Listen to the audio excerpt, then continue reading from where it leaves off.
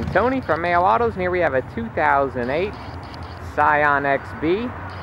And this is a local trade that was just traded in here on our lot with just 79,000 miles on. And the customer who traded this in was only the second owner of the vehicle. It's in great condition inside and out, no dings, dents, or scratches, just real, real nice inside and out. XB gives you lots of room, good fuel economy, fun driving vehicle. The black cloth interior, and the interior is very clean. Once again, this vehicle was owned by a non-smoker, so there's no odors inside here. As you can see, we have all the power equipment, cruise control, etc.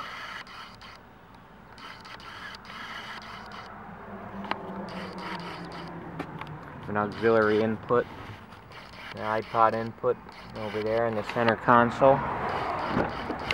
Plenty, plenty of room in the back, middle here.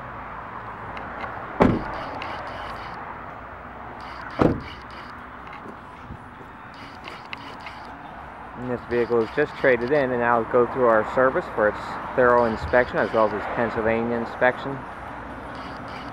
And we'll also be back with a three-month, 3,000 mile powertrain with extended warranty coverage up to three or four years available.